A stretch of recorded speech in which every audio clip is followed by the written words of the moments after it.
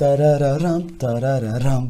Paralel kenar. Şimdi arkadaşlar paralel kenar ne demek? Paralel kenar isminden de belli. Paralel kenar. Yani kenarları paralel. Mesela bu buraya paralel. Karşılıklı kenarlar birbirine paralel arkadaşlar. Buna ne diyormuşuz? Paralel kenar. Peki özelliği ne? İki taraf birbirine paralel olduğu için bu A bu tarafa doğru kayıyor. Peki B'de buraya ne oluyor? Kayıyor. Yani birbirine ne oluyor arkadaşlar? Karşılıklı kenar birbirine eşit oluyor. Peki şurası alfa bura beta ise biz bunu açılarda gördük. Şu ikisinin toplamı kaça tamamlardı yan yana? 180'e harika. Çok iyi. Peki burada 180 olmaz mı? Bak bu da paralel. Bak bu U kuralı dersiniz ya da ikisi 180'e tamamlar dersiniz sıkıntı yok. Beta. Buradan arkadaşlar alfa artı beta yine 180. Peki bu da 180 olunca alfa. Ve buradan müthiş bir şey yakaladım. Karşılıklı açılar birbirlerine eşittir. Karşılıklı açılar paralelken de birbirine eşittir. Çok basit bak. Alfa beta 180 bu da beta bu da alfa diye gidiyor arkadaşlar. Burası tamam.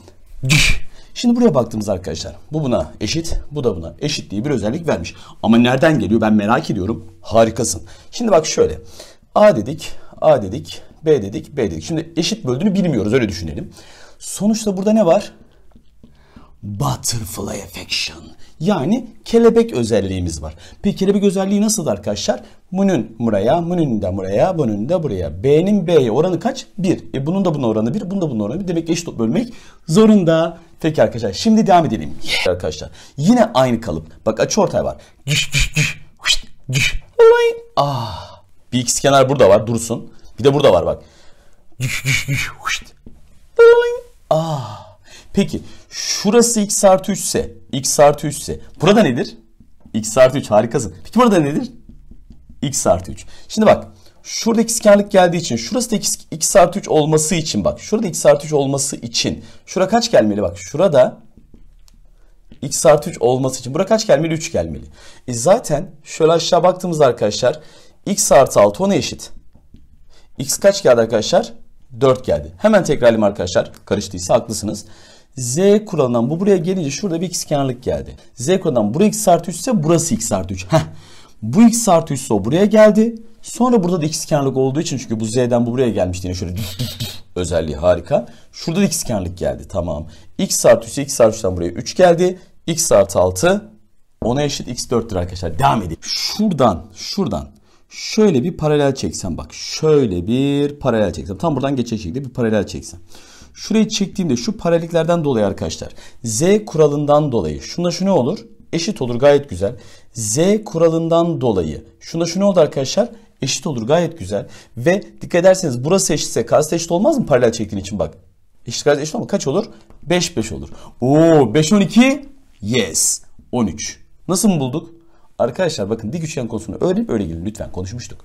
Peki şimdi gelelim. 5 ise kaç geldi? 5. 5 burada kaç geldi? 5 zaten. Ve 18 kayıyor özelliğinden woo, buraya kaç geliyor? 18. Paralel çektim. Paralel çektikten sonra z kurallarından dolayı şu eşitliği artık kaçıncı tekrarda artık öğrendiniz diyor umuyorum. Karşısı da eşit oldu. Ve 5, 12, 13 hop devam. Şimdi buraya baktığımızda açıortay var dikilmiş arkadaşlar. 8 var 5 var. Böyle bir süreç var. Bakın şimdi. E, önce şunu bilelim. Şimdi açıortay dik geliyorsa diğer tarafta da açıortaylık oluyor aslında. Nedenini anlatayım. Şimdi AA diyelim. Şuraya B diyelim. A artı B nedir? 90. Peki 180 olması için 2 artı yani yazayım şuraya. A artı B 90. 2 ile çarp. Bunu birazdan kullanacağım. 180. O zaman 2A ise bura ne olursa 180 olur paralel ya. O zaman ne olmalı burası arkadaşlar? B olmalı. Diğer bir olay. A artı B 90. M kuralı var bak yandan M'lere de alışın. M kuralı var. O zaman A bura B olmalı ki 90'ı versin. Çok güzel. Peki bu açı ortayı görünce harikasınız. Burası ikizkenar olduğu için 5 ise bura kaç geldi? 5. Aşağı 8 ise yukarısı 8 olduğu için x kaç geldi arkadaşlar? 3. Beraber güzelce çözelim arkadaşlar. Çok iyi izleyin. Bakın şimdi. Burada ne kuralı var? Z. Z'den dolayı bu buraya gelir. 5 ise 5. Artık bunu öğrendiğiniz için uzatmıyorum. 8 buraya gelince buraya kaç geldi? 3 geldi. Çok iyi gidiyoruz. Burada kalıyoruz. Gitmiyor soru. Nedenini anlatacağım şimdi bakın. Yani nasıl çözeceğimizi anlatacağım. A diyelim. A diyelim. Şuraya A diyelim. Çok önemli. 2A ise ne oldu? 2A geldi. A ise buraya kaç geldi? Hadi A türünden söyleyin. Harikasınız. 90 eksi A. Hadi birazcık matematiğiniz yetiyorsa şuradan da A türünden yazalım. Hadi toplayalım. İkisini topluyorum. 90 eksi artı 2a'mız 90 artı a'dır. 180'den 90 artı a'ya çıkarırsam 90 eksi a'dır. Ya da zorlamayın. 2a buraya 180 eksi 2a kalıyor. E 90 eksi a ise burada nedir? 90 eksi a. İkiz kenar 3 ise burada ne olur? 3. Peki hocam 90 eksi a kafamı karıştırdı. Çünkü orada karışıyor. Bence şöyle diyeyim. B değil. Başka bir harflerine A artı B 90. Peki A artı B 90 ise aynı mantıkla hani böyle de gidebilir. 180 olduğu için 2 artı 2B olması için bura ne olmalı? B olmalı. Çünkü A artı B 90 ise 180 olması için 2 artı 2B'den bura B olmalı. Ve X yine 3 geldi. Başka çözüm. A artı B 90. Şurada M kuralını görüyor muyuz? Bak M kuralına bak. Az bak az, az M kuralına bak. Görüyor muyuz? Toplamı 90'ı verecek. O zaman burada B olmalı. Yani bir şekilde oraya B geliyor ve burada geldiği için X kaç geldi? 3 geldi. Hatta ona farklı bir bakış açısı daha yapayım size. Şöyle yapsam. Açı ortay dik geliyorsa bir tarafta açı ortay oluyordu ya ispatlamıştık demin sorularda. Bunu uzatıp bir açı ortaya uzatabiliriz ama ben şöyle de çeksem paraleli. Açı ortay dikse burada açı ortay olmak durumunda kalıyor. Neden hocam? Hemen anlatayım. Şuraya 2A diyeyim. Şuraya da 2B diyelim. Uzatalım. A ise burası A olur yöndeşten. Peki 2 artı 2B 180 ise A 90 ise burada ne olur? B olur. E 2B 2B'den burada B olmaz mı? Demek ki açıortay dikse burada açıortay olmak zorunda oluyor ve Z kuralından şurada Z kuralından dolayı yine ikizkenar geldi. Ve unutmayın arkadaşlar mesela şöyle bir açıortay gelsin mesela. İşte şurada da şöyle bir açıortay gelsin diyelim. Yine 90. E niye? AA burası 2A, BB. 2B artı 2A 180. E Z kuralından ya da pardon yöndeşten yöndeşten B buraya geldi. 90. Yani bunlara alışalım ama tabii bunlar hep paralelliğin etkisi. Paralelliğin bu çok önemli. Çöze çöz olacak. Panik yapmayın. Devam edelim. Şunlar çortay geliyor ya. Şurada ikizkenarlık oluşuyor. Bak şurada ikizkenarlık oluşuyor. Kalıbı sevmem de öyle belki bir yerinize böyle tık diye oturur belki diye. Özellik şöyle demiş. Şunla şunun toplamıyla önce bir yazalım. AE artı CH harikayız. Eşittir DF artı BG. Yani bununla bunun toplamıyla şunla şunun toplamı aynıymış. Bunu şöyle diyebiliriz. Dışarıdan inenlerle şu iç tarafta inenler aynı. Karşı köşelerden inenle karşı köşeden inenlerin toplamları kendi arasında eşittir. Nedenini beraber ispatlayalım. Şimdi şöyle yaptığımızda ve şöyle çektiğimizde burası tam orta nokta mıdır? Yani şurası da eşit, burası eşit. Biliyorsunuz ki paralel birbirini ortalar. İspatı da kelebekte birebir kelebeğinden dolayıydı. Çok güzel. Şimdi gelelim ne yapacağımıza. Mesela şuradan inen bir paralel çizsem, hepsine çizsem, aynı paralelden versem. Şuraya bakmak istiyorum. Burada bir bir yamuk oluşuyor. Paralel, paralel, paralel. Şurada anlatayım. Şimdi paralelse paralelse bu buraya eşit, bu buraya eşitse bunu arkadaşlar yamukta orta taban deniyor. Ve x'imiz toplamının yarısıyla bulunuyor. Dolayısıyla AE artı CH bölü 2 de burayı veriyor. BG artı DF bölü 2 de burayı verdiği için o zaman şu çapraz köşelerin toplamıyla çapraz köşelerden inenlerin toplamları birbirine eşit oluyor. Dışarıdakilerle içeridekilerin toplamı eşit oluyor. Eğer doğrumuz şöyle bir yerden keserek geçiyorsa ve alttan gelen bir uzunluk varsa alttan geleni çıkarmamız gerekiyor. Mesela AE artı bak çapraz yine bak. AE artı CH doğru. Eşittir. DF yapalım. AE artı CH eşittir. DF eksi GB. Alttan geleni çıkarıyoruz arkadaşlar. DF eksi GB. Bu ispatla şuradan çekilen paralellerle uzattığımızda gelen bir ispatla geliyor arkadaşlar. Arkadaşlar şöyle söyleyeyim bakın. Diyelim ki şöyle iş yapalım. Bakın işte şuradan dikindi, dikindi, dikindi, dikindi. Örnek veriyorum. Sonuçta paraleller. Şurası 4, şurası 2, şurası 6. Buraya x diye sordu. Yapacağın şey şu. Şu köşeler 4 artı x eşittir 6 artı 2. X kaç gelecektir? 4. Bitti. Bu kadar. Heh. Hocam şöyle olursa ne olacak? Buradan gelen 4, aşağıdan gelen x, şuradan gelen 8, şuradan gelen 3 olsun. Yapacağın şey şu. Yine çapraz 3 artı 4 8 eksi x. Bu kadar işte. 7 olması için x'e kaç gelecek? 1. Tekrarlıyorum. Karşı köşeden inenlerle dışarıdakilerle içeridekilerin toplamı birbirine eşittir. Bitti. Eğer doğru ortadan geçiyorsa dışarıdakinin toplamıyla bundan bunu çıkardık arkadaşlar. Ama bunlar hep paralel olacak arkadaşlar. Devam edelim. 3 var, 5 var. Bize A'nın bu doğruya uzaklığı nedir diyor. Aslında demin öğrendiğimizde ne kadar benziyor. Neden bak. 5 zaten buraya geliyor. Çok güzel. 3 bir şey 5, 3 4 5. Çok iyi bakıyoruz. Şimdi olaya şöyle bakarsak bak. Şimdi bu karşı köşelerden, karşı köşelerden inenlerin toplamı bu köşeyle bu köşede nenin veriyordu? Yani 7 artı 4 şu uzunluk sorduğu uzunluğu x diyelim. x artı 0. Çünkü o direkt doğru üzerinde. x kaç geldi? 11. Bak tekrarlıyorum. Dışarıdaki içeridekiler bu 0 zaten. Ya da dediğim gibi karşı köşelerin toplamı karşı köşelerin indiği uzaklık. O zaman direkt x 11'dir. Gayet güzel. Bunu göreni. Ha göremezsek yani sınavda böyle formüller bilmek mi gerekiyor? Hayır ÖSYM aslında senin yorumunu da ölçüyor. Şöyle bir şey arkadaşlar. Şimdi biz şurayı uzatsaydık. Şurayı şöyle uzatsaydık. Bakın şimdi. Şununla şu üçgenle şu üçgenin eş olduğunu size ifade etmem lazım. Bunu size nasıl ifade edeyim biliyor musunuz? Şununla şu paralel midir? X de dikildiği için doğru. Peki bu da buna paralel midir? Evet. Peki sizce iki tane kenarları kendi içinde paralelse aralarındaki açı eşit olmak zorunda değil mi? Yani burası alfası burada alfa olmak zorunda değil mi arkadaşlar? Mesela bu buna paralel olsun. Bu da buna paralel olsun. E mutlaka şu açıyla şu açı olmak zorunda? Eşit olmak zorunda. Çünkü şu şuna paralel, e bu da buna paralel. Mutlaka bir yerde aynı açıyla kesişecekler. Yani şöyle anlatayım. Mesela şöyle yapayım. Şöyle devam ettireyim, ettireyim, ettireyim. Şöyle devam ettireyim. Bak bak.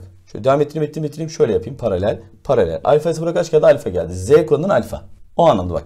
Alfa ise paralel, paralel. Buraya geldi. Z'den burası geldi. Sorun değil. Çoğu zaten hissetti. Hani direkt şuna şu eş. Bak eşler aynı. Dik, dik. 90'ın gördüğü 5, 90'ın gördüğü 5. Alfa beta 90 çok güzel. İşte burada beta'nın gördüğü 4, beta'nın gördüğü 4. E bura kaç geldi? 11. O zaman burada ne oldu? 11. Bu iki üçgen için arkadaşlar bu buna paralel, bu da buna paralel. Sıradaki açı aynıdır dedim. Ya da yöndeşten alfa buraya geldi. Bak yöndeş. Sonra Z kuralından buraya geldi. Bunlar birbirine benzer oldu. 90'ın gördüğü 5, 90'ın gördüğü 5 eş üçgen. O zaman burası B'nin gördüğüyle buradaki B'nin gördüğü aynı olacak. 4 buraya gidince uzunluk 11 direkt buraya verdi. Bu da bir ispattır arkadaşlar. Evet arkadaşlar başka bir çözüm size öğretmeye çalıştım. Reş zaten buraya gelince burası zaten 4 gelmişti. Bunu hatırlıyoruz. Şimdi bunda şu köşegeni çekiyorum. Bakın şimdi bu köşegenin kesiştiği nokta. Şu şöyle göstereyim bu karışmasın. Şu bizden istenen. Şimdi onunla işimiz yok. Biz şimdi şu köşegene bakalım şimdi. O çok önemli. Şimdi biz burada dikkat ederseniz arkadaşlar ben e, köşegeni çektim sadece. Kritik şu olay şu. Şimdi şurası ile şurası eşit.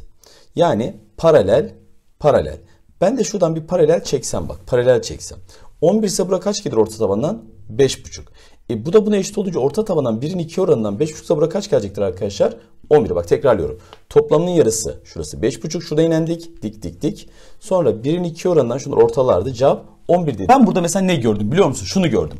Şimdi köşegenler ne yapıyordu birbirini? Köşegenler birbirini ortalar. Ortalar. Harika. O zaman bu da ne yapar? Ortalıyor. Gayet güzel. Ortalar. Peki şunun adı nedir arkadaşlar? Ağırlık merkezi bu üçgenin. Şu noktada bu üçgenin ağırlık merkezi. Çünkü iki tane kenar ortay kesişirse o üçgen ağırlık merkezidir. İki tane kenar ortay bu ağırlık merkezi özelliği neydi arkadaşlar?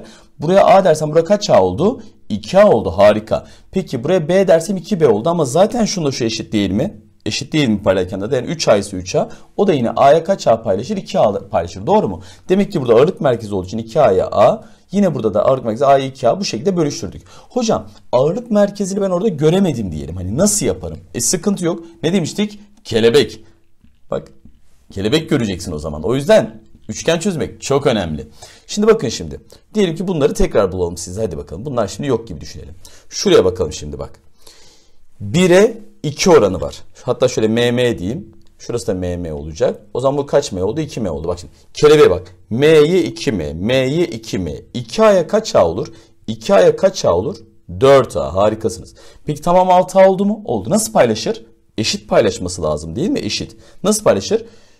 3A'ya 3A. Bakın 2A'ya olduğunu bu ne güzel ispatladık. Yani kenarortay teoremini burada ispatladık arkadaşlar. Buraya da 3A kadar. Aynı mantığı şuradaki kelebekten uygularsanız orada da aynı şey gelecek. Yani biz burada iki kelebek uğraşmak yerine ağırlık merkezini kullanmamız bize fayda sağlayacaktır. Bu bir. İkinci olayımıza gelelim arkadaşlar. Bu arada bakın bilmesek de kenarortay teoreminin e, kenarortayda şu oran benzerlikten geldiğini ispatlamış olduk. Peki şöyle çekersem bu da kenarortay olur mu?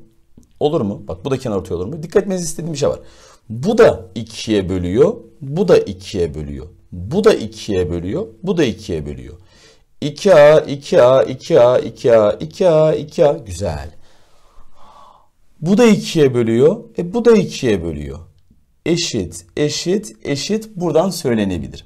Ama biz burada daha farklı bir anlatım yapacağım arkadaşlar. Ne yapabiliriz söyleyeyim. Şu kelebeği görüyor musunuz? Bak şu kelebeği görüyor musunuz? A'ya kaç A var? 2A var. 2 katı. M ise bura komple kaç M olacaktır arkadaşlar? 2M olacaktır. Mükemmel. Şimdi arkadaşlar burada bir kelebek daha var. O kelebeği de şöyle dalgalı saçlı göstereyim bak. Şu. Yandan. O yüzden kelebeği iyi görmemiz lazım bak. B'ye 2B, B'ye 2B, B'ye 2B. 3M'i nasıl paylaştırır? M'e 2M, M'e 2M, B'ye 2B, 3M'i M'e 2M. 3 eşit. Yani şu üçü birbirine eşit olması gibi arkadaşlar eşittir. Biraz karışık gibi durdu ama şimdi kısaca toparlayayım arkadaşlar şöyle. Kısaca toparlayayım hani olayı. Şimdi bir yerde hemen buraya bakın. O orada çok karıştı. Hemen şöyle göstereyim arkadaşlar. Şurayı ikiye bölüyorsa güzel burası da çizmişse burayı da ikiye bölüyorsa izleyin. Ben şuraya çektiğim zaman bu da ikiye böldüğü için burası ağırlık merkezidir. A'ya 2A'dır. Burada 3 alınca o da A'ya 2A'dır çünkü bu ağırlık merkezidir. Bitti. Sonra buraya devam edelim. Eğer bu ikiye bölüyorsa, bu da ikiye bölüyorsa şu üçü birbirine eşittir. Nedeni hem şurada gördük şöyle çektiğimiz zaman hem de hmm, şurada 1'e 2 kelebeği var. M'se kaç M 2M.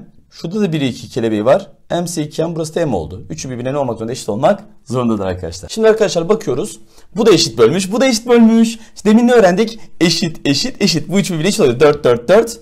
Sonra hatta yazalım. 4, 4, e, 4, 4. Hani demin hani bu da bölerse bu da bölerse şu işe eşit dedik ya demin özellikle. 4, 4, 4. 90 iniyorsa perfect olarak. 90'dan inip 2'ye bölüyorsa dikinmez ama muhteşem üçlü diyebiliriz. 4 deyip soruyu çözebiliriz. Ama ben bu şekilde çözmeyi sevmiyorum. Neden? Çünkü o formülü hatırlamayabiliriz. Şimdi gelelim tekrar sorumuzu çözmeye. Öncelikle ne yapabilirim? Burada kelebek görmek çok önemli arkadaşlar. Mesela birinci göreceğiniz kelebek şu. Bak. Bak. Bak gördün bak. Şuraya yandan bak. Bak bak. Kelebek. Şuraya A A dersen bura kaç A? 2A. Yani 1'e 2 kelebeği.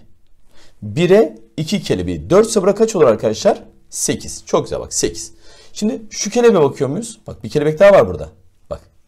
Burası da mm olsun. Aşağısı kaç m oldu? 2 var. Yani bunları yazmana bile gerek yok. Hani 1'e 2 kelebeği var. E 12'yi nasıl paylaşır? Yine 4'e 8 olur. 12 ya 1'e 2. K'ya 2K. Yine 4'e 8 olacak. 1'e 2 olduğu için 4. O zaman burada ne geldi? 4 geldi. 4 4 ise 90 için perfect. Bu da ne olacaktır? 4 olacaktır arkadaşlar. Ama bu da 2 biliyorsa bu da 2 olsa çat çat çat. Bunun farklı oranlarını da göreceğiz arkadaşlar. Değil arkadaşlar bu soruya baktığımızda çok güzel bir soru. Sakin bir şekilde izleyelim. Bakın. Şurada bir izleyin. Kelebek bulursam eğer onun x'e oranına geçer soruyu çözerim. Çünkü şu kelebek oranı direkt soruyu getiriyor. Ha içeride şunu çekip benzerlik kurarak da zorlayabiliriz. Ama dışarıdan çekilmeyi de görün, içeridekini de görün ve hangisi olmasını siz tercih edin arkadaşlar. Tamam mı? Nedeni anlatacağım birazdan. Kelebek yapmak istiyorum ama kanadı kırık. Kanadı kırık olamıyor. Kelebek olamıyor. Ona gelin kelebeğe kanat takalım. Bak o da özgürce uçsun. Gördünüz mü? Ve işte o kelebek geldi. Ve şunu unutmayın arkadaşlar. O kelebek geldiği zaman şöyle yapalım. O kelebek geldiği zaman burada bir kelebek daha geliyor. Onu görmeniz çok önemli. Bak şu gelen kelebeği görmeniz lazım. Çünkü asıl kelebeği yapmak için şuraya geçmek gerekiyor. Ve onun için şu yeni gelen kelebeği gördüğünüz zaman bu soru bitmiştir. Nasıl? K'ya 2K bak şu kelebek çok izleyin bak şu kelebek. 2K'ya kaysa 2M desem buraya 2K'ya kaysa 2M ise bura ne olur? M olur. İşte bunu yazdığın an zaten 4M yukarı gittiği için şurası kaç M geldi toplamda? 5M geldi. 5M'ye 2M. 5M'ye 2M. 5M'ye 2M ise ona X oranı vardır. 5M'ye 2M ise ona X. M'ler gider arkadaşlar 20'den. X kaç geldi arkadaşlar? 4 olur. Tekrarlıyorum. Böyle oran kelebek yapmak için şurayı uzatmamız bazen çok fayda sağlar. Ve uzattığımız zaman şurada bir kelebek oluşur ama benim şurayı bilmem gerekiyor. Onun için de şu küçük kelebeği kullanarak 2'ye 1 ise 2m m dedim. 2m aldım. Sonra 4m yukarı gidince 5'in 2'ye 10'un x'e dedim ve x 4 geldi. Ha şimdi içeride bölseydik eğer mesela içeriden çözmeye çalışsaydık eğer söylüyorum. Şu onu da paylaşmamız gerekiyor ya. Hani biraz daha iş karışıyordu. Bazen içeriden çekmek fayda sağlar. Bazen ikisi de çözülür. Ama ben o ikisi arasında mesela burada dışarı çekmek daha rahat geldiğini söylüyorum. Mesela çünkü burada çekseydim 10 artı x'i de paylaşmam gerekecekti kendi içinde. Oo, açı ortay vermiş iki tarafta. 11 var, 5 var, 4 var. Açıortayların dik kesini biliyorum. Ama ne yapmam gerekiyor? Nasıl gitmeliyim? Burada bir şey var. Onu görmem lazım.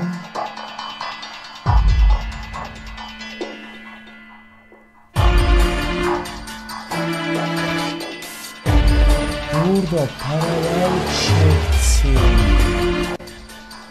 16 ise burası da 16.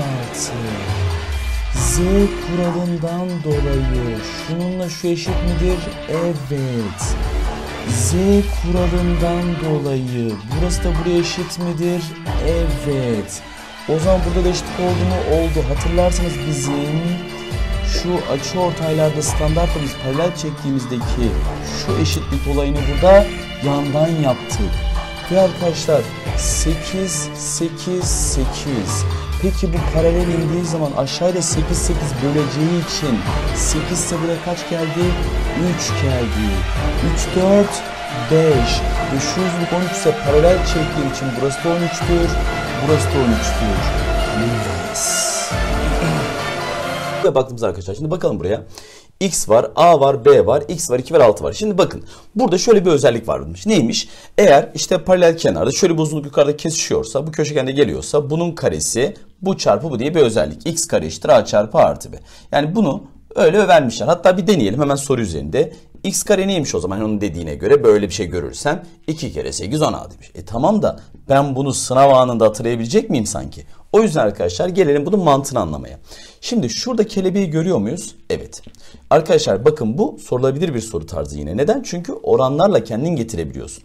Şuraya M ve şuraya N dediğimde bana şu kelebekte ne yazabilirsin söyler misiniz? Hadi söyleyin. A'nın X'e oranı M'nin N'ye oranıdır bak. A'nın X'e oranı M'nin N'ye oranıdır. Doğru mu? Güzel. Şimdi yandan da kelebek var. Taralı olmayan kelebek bak. Taralı olmayan kelebek. Bak üzerinden hemen geçiyorum. Siz bakın şöyle bak. Siz defteri çevirin ya da değil mi masayı çevirin. Bak çok güzel. Harika.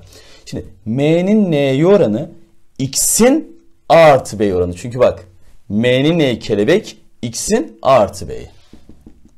İkisi de M, M N'yi verdiği için bunu ortadan alalım. İçler dışarı yapalım. A çarpı A artı B eşittir. X kare buradan geliyor. Hocam ispat burada karıştı. Soru üzerinde yapalım. Tamam hemen gel. 2'ye x, 2'ye x. Kaç k'ya kaç k? 2'ye x. Kaç k'ya kaç k? 2'ye x. Kaç k'ya kaç k? 2k'ya xk.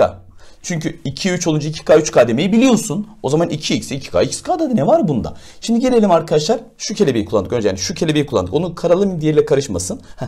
Şimdi yandaki kelebeği görün şimdi bak bak. Az bak bak bak bak. Woohoo! Üstüme paralel. Çünkü paralel kenar. Peki 2'nin x'i oranı evet. K'lar atsam sıkıntı olur mu? 2K, XK aslında bu. K'lar gidiyor tamam. X'in 8'e. Burada arkadaşlar içler dışlar yapalım. x kare 16'dan x kaç geldi arkadaşlar? 4 geldi. Tekrarlayalım. 2'ye x'e 2k'ya xk. 2'nin x'e x'in 8'e yes. Size iki soru soracağım. Bunun alan formülü nedir? Ve aynı zamanda bunun alanı nerededir? İkisinin de cevabı aynı. Bakın alan formülü nedir? Alanı nerededir? Söyleyeyim mi arkadaşlar? Aha! Aha yani hem orada yerini gösteriyor bak nerede olduğunu hem de formülü söyledim çok iyi. A çarpı aşağı. Peki şu an en az 15 abone kaybettik. Olsun yapacak bir şey yok. Şuradan da B diyoruz. Şu da nedir arkadaşlar? B çarpı HB. A çarpı aşağı B çarpı HB olarak bulunmaktadır. Hocam neden direkt çarpılıyor bölü 2 yok? Çünkü şunu şöyle çektiğin zaman zaten üçgenin alanı A çarpı aşağı bölü 2'dir. Aha bölü 2'dir. Ama burada tüm alan olunca aha yani değil mi? Aha. Peki o zaman demek ki tüm alan bunda yüksek taban direkt alanı veriyormuş. Çok güzel. Peki hocam aynı zamanda B çarpı HB çünkü o da bu alanı verir. 2 ile çarp aynı şey oluyor. Demek ki yüksek çarpı taban alanı veriyormuş. Ek bir bilgi söyleyeceğim arkadaşlar size burada. Bunu orada sadece alfasını yazmışım. Şöyle alfa olsun. Şura B şura olsun. Mesela bana bunun alanını bul dediğinde sen Üçgenlerden hangi bilgiyi biliyorsun mesela? Sinüs alanı 1 bölü 2 AB sinüs alfa dersin. Hani 1 bölü 2 AB sinüs alfa dersin. 2 ile çarparsın mesela. Ama bunu böyle ek olarak vermek istemiyorum. Neden? E sen zaten dikinerek bulabilirsin ki açı verdikten sonra 90'ın gördüğü 30'un gördüğü içiniz rahat olsun arkadaşlar. Bak, köşegenlerle alan soruluyorsa köşegenlerle alan soruluyorsa bu dörtgenlerde geçen ders dinlediğiniz özellikle neydi? 1 bölü 2 sinüs alfa. Çünkü bu da dörtgen. Yani bunun alanı 1 bölü 2 e çarpı f çarpı sinüs alfa bu kadar. Yani 1 bölü 2 var. Köşegenlerle alan buluyorsan 1 bölü 2 var. Unutma. Arkadaşlar bu soruya baktığımızda deminki özelliği şöyle kullanalım. Bakın şu tarafa dikindiğimiz zaman ne oluyordu? Dikinersek ha. Yukarı çekersem ha. Aşağı çekersem ha. Ha. Ha. Ha. Ha. Ha. Ha özelliği. Peki. Üçü de eşit yani. Şimdi ha ha şuraya da m diyelim. Taralar nedir? Hım bölü 2. Hım bölü 2. Sonra taralanın tüm alanı demiş. H çarpı M bölü 2. Hım bölü 2. Tüm alan nedir? Yüksek çarpı taban. 2 hım. Buradan ikiler gider bir. Nasıl ya? Allah aşkına bununla büyüğü nasıl eşit olsun? Dikkatli yap. İşlem matematik işlemi çok önemli burada. HM bölü 2 öbürü de 1 bölü 2 HM. HM'ler gidince cevap 1 bölü 4. Bu alan tüm alan 4'te biriymiş. Şimdi bu soruyu evet bunun alanı nasıl bulacağız? Beraber bakalım arkadaşlar. Öncelikle köşegenleri vermiş. 4, 2, 2 paylaşır. 6, 3, 3 paylaşır. Ama önemli değil nasıl paylaştı. Çünkü ben şu anda e, şuna önem vermem gerekiyor. Köşegenler alan nasıl bulunuyordu? 1 bölü 2 sinüs alfa. 18 artı 12 30. Bu açı kaç geldi? 150. Hocam bu açımı alacağım o açım. Fark etmek için sinüsü aynı. O zaman 1 bölü 2 harika. Sinüs 150 ya da sinüs 30 o da 1 bölü 2'dir. 6. Evet arkadaşlar şimdi baktığımızda ne oldu? Paralel kenar, ortalar. Dik kesişir mi? Hayır. Paralel kenar dik kesmek zorunda değil. Dik kesişmesi için buranın ikizkenar olması gerekir. Yani e, eşkenar dörtgende yapacağız. Paralel kenarda dik kesmek zorunda değil. Zaten demin 12-18 dereceli sorular çözdük. Yani 20-40 dedik bu açılar değişti biliyorsunuz. Şimdi gelelim çözümüze. Alan nasıl paylaşır? Şuradan tutarsam buraya S gelirse buraya da ne gelir?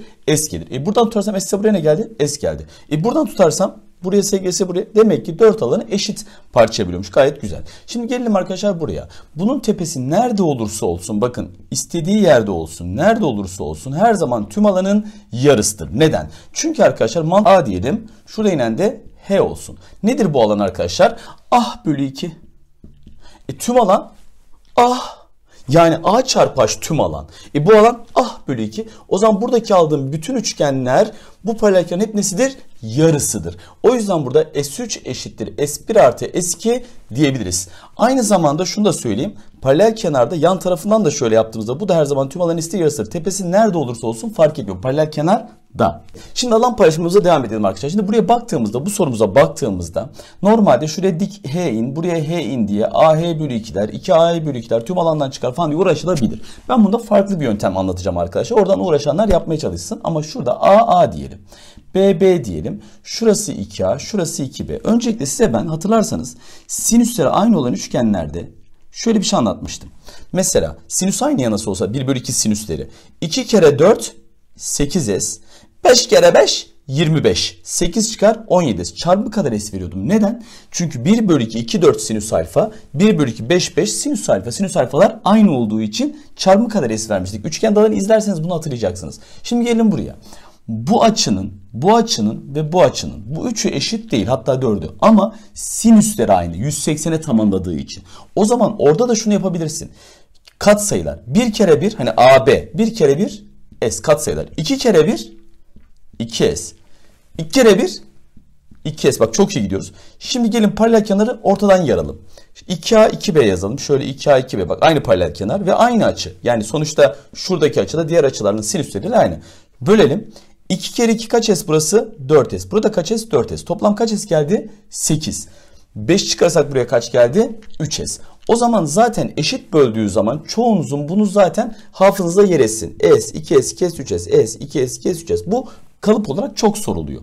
Ama oranlar değiştiği zaman özellikle şu yöntem çok işinize yarayacak. Bak bir kere bir S, iki kere bir 2S, iki kere bir 2S, yardım, bak yardım, 2 kere 2 4S. 4S diğer taraf 8 olduğu için arkadaşlar çıkarttım ortaya buldum. Bununla ilgili ilerleyen süreçte soru var. Hani hafif de anlasanız önemli değil. Çözeceğiz bununla ilgili.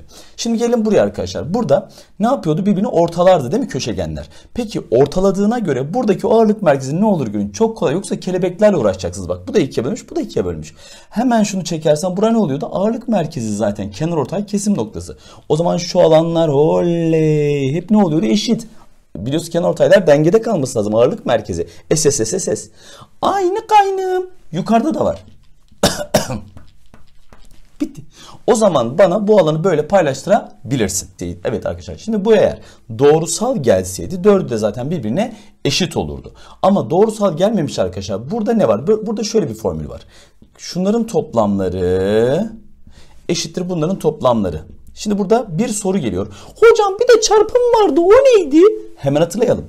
Herhangi bir dörtgende doğrusal gidiyorsa köşegenler o zaman ne diyorduk? Bununla bunun çarpımıyla bununla bunun çarpımı eşittir diyorduk. Hatta bu özelliği burada paralel kenarda kullanmamıza gerek yok. Neden? Çünkü doğrusal gitseydi zaten dördün eşit olduğunu demiyorduk. Yani s kare s kare oluyor. Bir getirisi yok bize bu özelliğin. Ama bu nasıl bir özellikmiş? Herhangi bir nokta. Herhangi bir noktada böyle gidiyorsa bununla bunun toplamıyla bununla bunun toplamı birbirine olmak zorunda arkadaşlar? Eşit olmak zorundaymış. Bu artı bu, bu artı bu olmak zorundaymış arkadaşlar. Patlayalım. Neden böyle bir şey var? Tam buradan şöyle paralel çeksem, paralel çeksem. Şu da bir paralel kenar olur mu? Olur. S1 oranın yarısı mıdır? Evet. O zaman şurası ne olur? 2 tane S1. Peki S3 şu paralel kenarın yarısı mıdır? Hani yarısı oluyor ya tepesi nerede olursa olsun. Güzel. Yani şu hareket. Şu her zaman yarısı oluyor da paralel kenarda. Heh, S3 ise bunda tamam ne olur? 2S3. E, o zaman biz normalde S1 artı S3 o zaman bunlar da S1 artı S3 olacak. Yani şunla şunun toplamıyla bununla bunun toplamı eşittir. Çünkü şu da tüm alanın yarısı, bu da tüm alanın yarısı. O zaman şu ikisi toplamı tüm alanın yarısı. E, bu ikisi toplamı da geri kalan yarısı oluyor. Şimdi asıl bu soru, bu soru, bu soruyu öncelikle şey olayını söyleyeyim. Direkt söyleyeceğim, ispatını sonra yapacağım. Tamam siz sadece izleyin. Şimdi dikkat edin bu burayı bölmüş, e, buraya dönmüş, bu buna paralel bak. Şu şunda eşit olduğu için, eşit olduğu için demek ki bu paralel geliyor. O güzel. Aynısı bunun içine geçerli. Peki 1 bölü 2'nin karesi 1 bölü 4. S'e kaç S geldi? 3S. Sonra bu alanla bu alan bu soru için aynı. Nedenini birazdan ispatlayacağım. S ise burada 3S. Siz sadece bir kalıba alışın önce. S 3S. S3S, S3S, S3S, S3S, S3S, S3S, S3S, S3S, S3S. Ortası arkadaşlar şöyle çekeyim bakın az birebir olduğu için S'e bura kaç geldi? S geldi. Zaten şunla şu eşit olunca şu da şuraya eşit olacağı için hani şu paralel ya şurası paralel eşit olacağı için 4S de ortası ne olacaktır? 4 o zaman bu eşit bölme durumunun kalıbında S3S, S3S, S3S, S3S ortası kaç oluyormuş? 4S kalıp bu. Şimdi ispata geçelim. Arkadaşlar bakmanızı istiyorum. Şu kenarla şu kenar paralel. E bu kenarla demin söyledik şöyle eşit indiği için bu paralel. Şu alfa ise şu da alfa olmak zorunda. Çünkü şunla şu paralel, e bununla bu paralel aradaki açı aynı oldu. Çok güzel. Bunu uzatarak da ispatlayabilirim. Alfa buraya geliyor yöndeş falan. Dolayısıyla şu üçgenle şu üçgen benzerler. Ne yanları aynı. Hatta eşler arkadaşlar. O yüzden S3S, S3S'de sıkıntımız yok. Ama bununla da bu aynı eş. Ancak buraya başka bir harf. R diyelim. Bura kaç R olur? 3R. Çünkü o da 1'in 2 oranı harika.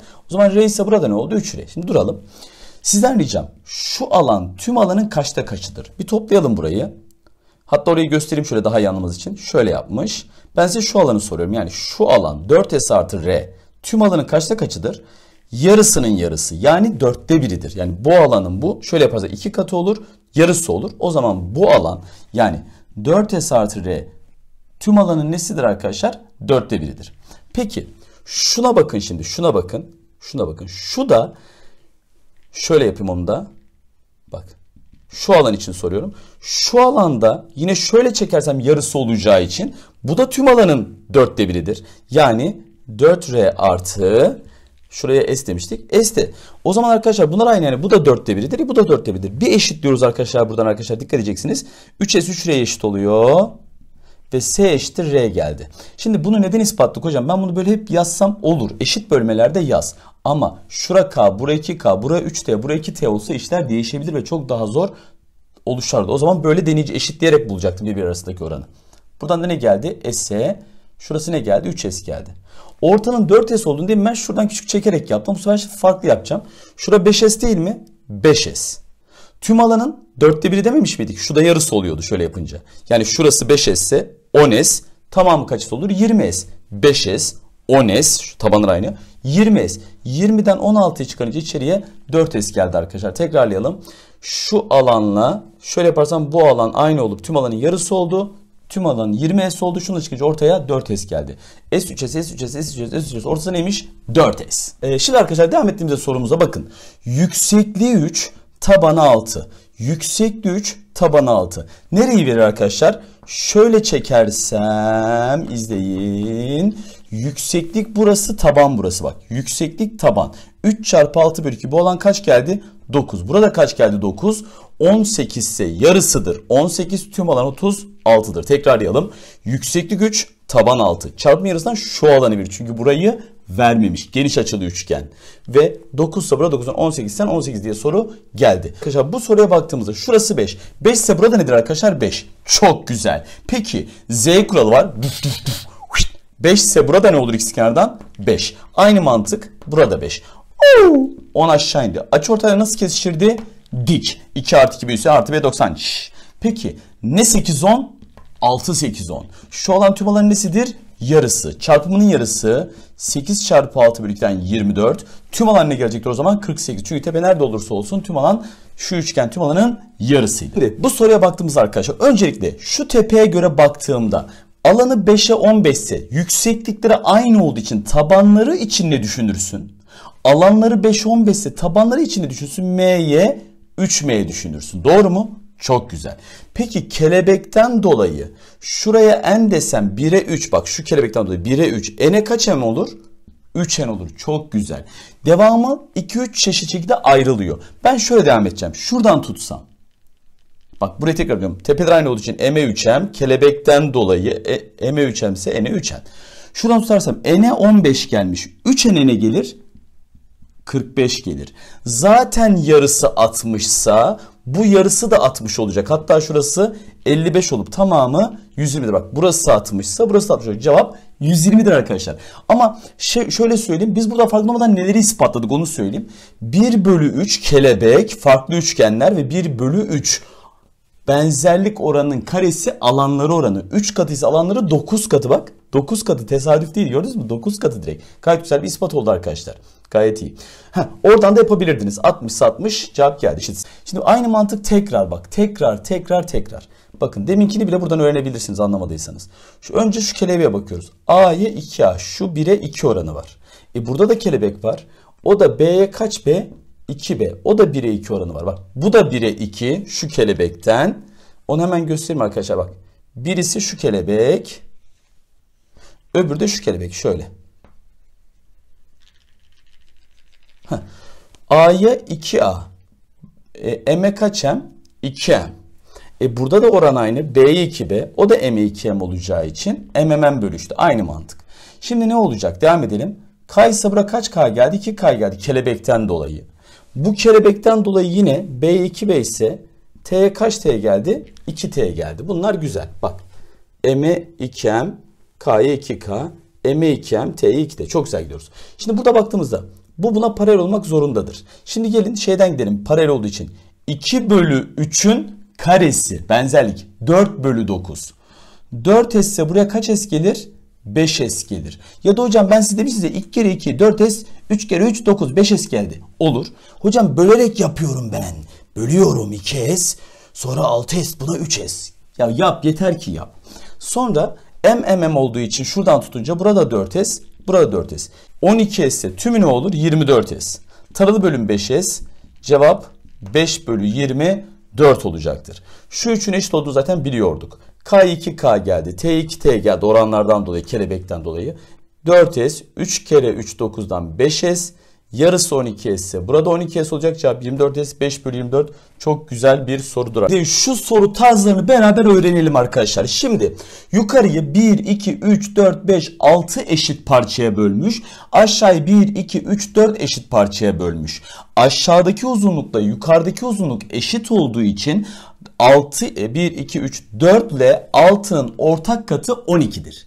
12 olursa gelin biz yani en küçük ortak katı 12K alalım. 12K'yı buraya nasıl paylaştırırız? 1, 2, 3, 4, 3K, 3K, 3K, 3K. 12K'yı 6'ya nasıl paylaştırırız? 2K, 2K, 2K, 2K, 2K. Çok güzel. Şimdi bunu en kötü şöyle yapalım. Bilmiyorum aranızda yamuk alanı hatırlayan var mı? Şuradan dikindiğin zaman örnek veriyorum. Nedir bu yamuğun alanı? Üst taban artı alt taban bölü 2 çarpı h. Bu neyi veriyor bize arkadaşlar? Bu yamuğun alanını. Peki bölü tüm alan. Tüm alanda 12k çarpı h. Buradan kaç geliyor? İşte 7 bölü 24 geliyor. Bu düz çözümdür. Düz çözüm. Şimdi ben bunu yamuk alın arkadaşlar.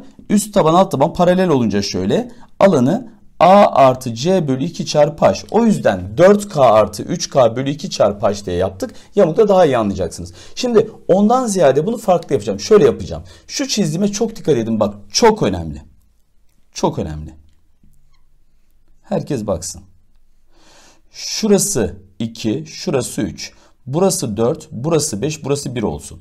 Üst ve alt paralelse şu üçgenlerin veya bu dörtgenin hepsinin e, neleri aynıdır? Yükseklikleri aynıdır. Aferin. Yükseklikler aynı ise eğer 2'ye e o zaman alan neye bağlı olur? Tabana bağlı olur. Çünkü yükseklik aynı. 2'ye 2s gelir. 3'e 3s gelir. 4'e 4s gelir. Bölmek yerine 1 artı 5'e 6s de diyebiliriz. Çünkü böldüğünde 5s olacak. Bak bu çok önemli. Birazdan tekrar edeceğim onu. O zaman şurası 4. Düşünelim. 4 ya da şöyle böyle böyle uğraş ya da 4 artı 3 kaç s toplamı 7s. 4 artı 3 kaç s? 7s. Çünkü bölersen 4s 3s olduğu için. Bölersen 4s ama direkt 6 artı 4 kaç s yaptı? 10 s yaptı. İçerinin alanı 7. Tüm alan 24. Şimdi tekrar bakıyoruz. O zaman biz paralelse bunların hepsinin neleri aynıydı? Neleri aynıydı hepsinin bu üçgenlerin? Yükseklikleri aynı. Bu bir dörtgen olacak. 4 verelim, 5 verelim, 3 verelim, 1 verelim, 4 verelim. O zaman 4'e 4s geliyorsa 5'e ne gelir? 5s. 3'e ne gelir? 3s. Bölmek yerine 4 artı 1 5s diyebiliyoruz arkadaşlar. Neden? Yükseklikleri aynı alan tabana bağlı. Şurayı bölüp 1s'e 4s yazmak yerine toplamı 5s'te yazabiliyoruz. Mesela 3 artı 5 hop 8s yazabiliyoruz. 4 artı 5 hop 9s yazabiliyoruz. Bunu öğrendik. Şimdi geliyoruz soru üzerine. Mesela şurası k olsun, şurası 10k olsun. Burası 2K olsun tamamı 10K olsun. İzleyin şimdi hani diyelim ki soruda. 2 artı 1 bura kaç S? 3S. 10 artı 10 tamamı kaç S? 20S. O zaman desin ki taralı bölü tüm alan desin. 3 bölü 20 diye işaretleyebilirsiniz. 1 artı 2 3S 10 artı 10 20S diye soruyu çözebiliriz. Evet taralı bölü tüm. C artı D formül üretiyoruz. Bölü A artı A. Bu artı bu bölü bu artı bu. ne kadar rahat. Ama gerek yok. Hani ben ne derim bunu yamuktan bulurum. H'ı ortak alırım. Diğeri de A çarpı H derim. Yine olur yine olur yine olur. Yeter ki birini seçin. Hocam benim ben sizi dinliyorum. Böyle kafam karışık olanları dinlemiyorum. Diğerini dinliyorum. Hangisi hoşuma giderse. Aferin işte öyle yap zaten. Ve buna bakalım. Taralı alanın tüm alanı oranı nedir? Bunu da iki farklı yöntem paylaşacağım. Siz İşinize geleni seçin. Oldu mu arkadaşlar? Şimdi 1, 2, 3, 4 parça. 1, 2, 3, 4 ile 3'ün ortak katı kaç? 12. 12'yi burada nasıl paylaştırırım? 4K, 4K, 4K. Yukarıda nasıl paylaştırırım? 3K, 3K, 3K, 3K. Şurası kaç K oldu? 6K oldu. Çok güzel gidiyoruz. 6K'ya 4K. Şimdi burada ben mesela şunu yapmanızı isterim. Direkt bu şurada itibaren bir yukarı bir aşağı dikinelim. Bu kelebek oranından kaç aşağı kaç açtır? 4'e 6. 4'e 6. Kaça kaç aş? 4'e 6. 4H'a 6H. Sadeleştirin. 2H'a 3H. Çünkü bak 4'e 6. 4H'a 6H. 2H'a 3H. Daha kısa olsun diye. Şimdi bu kadar. Bunu yaptığım bu soru bitti. Bana şu üçgen alanını söyle. 4K çarpı 2H bölü 2. Sonra bu üçgen alanını söyle. Yükseklik taban. Aferin. 6K çarpı 3H bölü 2 bölü. Tüm alan ise 12K çarpı 5H. Buradan 4KH 9KH daha 13KH bölü 60KH. Karşıya giderse 13 bölü 60 geldi. Bu kadar. Yani ne yaptım? 4'e 6 ise 4H'a 6H yaz sen. Sorun değil oradan da geliyor. Ben rahat işlem yapmak için sadeleştirdim. Kelebekte yapabiliyoruz bu oranı. Hocam başka çözüm olarak ne düşünebiliriz burada derseniz de 6'nın 4'e oranı 3 bölü 2'dir. Alanları oranı 9 ise 4s'tir. Şöyle yaparsam bu da ne olur? 4s. Böyle yaparsam bu da ne olur? 4s. Şöyle yaparsam ne olur? 4.5s. Çünkü 6'ya 9 ise 3'e 4.5. Burada ne gelir? 4.5s. 9, 18 burası. 12 burası 30. O zaman tamamını kaç olur? Hatırlarsanız şu özellik vardı. Şöyle şöyle şöyle şöyle gidince şunla şunun alanı tüm alanın yarısıydı. 30 ise tümü 60 olur yine yapılır.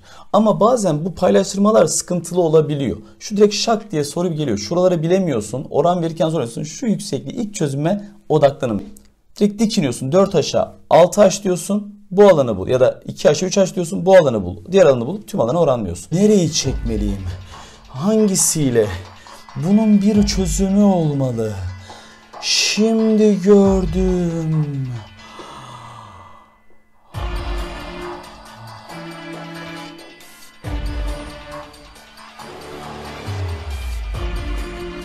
Ne yaptım biliyor musun? Şu üçgenle şu üçgen odaklandım.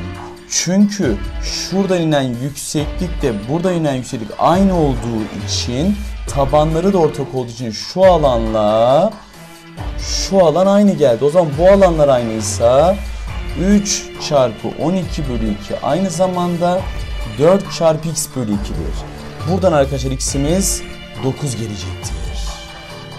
Şimdi arkadaşlar soruyu önemli değil burada yine yapacağız. Bu, bu, bu aynı olmasa da sinüsler aynı olduğu için 3 kere 1 3s. 4 kere 1 4s. 2 kere 1 2s. Müthiş gidiyoruz. Ortayı sakın toplayıp koyma sakın. Ama ben öyle zannediyorum. Yanlış biliyorsun. Şöyle yapıyorsun. Paralel kenarını şöyle şak diye kesiyorsun. Burası 4K, burası 2M. Şu açı da zaten aynı. 2 kere 4 kaç S olur? Aynı üçgen. Buradan hani karışmasın diye dışına yaptım. 8S. 8S de burası toplam kaç? 16S. 16S'ten 4, 2, 6, 3'ü çıkaralım, 9'u çıkaralım. 16S'ten 9S çıkarsa kaç geldi? 7S geldi. O zaman burası 7 olunca 7 bölü 16 oldu arkadaşlar. Bir sonraki soruya dönelim. Bu da çok güzel soru. Şuraya S dersem. Bak o kadar güzel ki bak burada kelebek yapanlar, uğraşanlar bu nereye göre bilmiyoruz ama bu soruyu öğrenince çok mutlu olacaksınız. Şu alan tüm alanın nesidir? Yarısı. Söyleyin nedir tüm alanın yarısı? Alan yarısı, tüm alan yarısı. 20 artı S. 20 artı S tüm alanın yarısıdır. Doğru mu? Harikasınız. Peki şuradan tutup şu üçgene bakar mısınız? Rahat anlamanız için ben sizin şöyle göstermek istiyorum. 5 artı S. Yanlış mı gösterdim? Bak 5 artı S. Bak burada. Şöyle yaparsam daha doğrusu şu alan tüm alanın yarısı mıdır? Hayır. Şöyle yaparsam yani şöyle. Şimdi burada da böyle gözüküyor. Burada karışmasın diye burada yaptım. Bu da 5 artı S. Yani şurası S artı 5 ise şurası da S artı 5. Yarısı ne olur? 2S artı 10. Bu da yarısı. S'i buraya atalım. Onu da buraya atalım arkadaşlar. S10 geldi. S10 ise yarısı 30 oldu. 30 ise tüm alan 60 geldi arkadaşlar. Güzel soru değil mi? Bak tekrarlıyorum. Şuraya S dedim. 20 artı S. Bunu çizmeden önce 20 artı S. Hemen şöyle göstereyim orada. S ve 20. 20 artı S tüm alan nesiydi? Yarısıydı. Peki S artı bir şey şöyle yapınca 2S artı 10 da yarısı oldu mu şöyle yapınca yarısı. Yarıları eşitledim. S10 geldi. 10 sayı 20 30 tüm alan 60'dır. Güzel soru.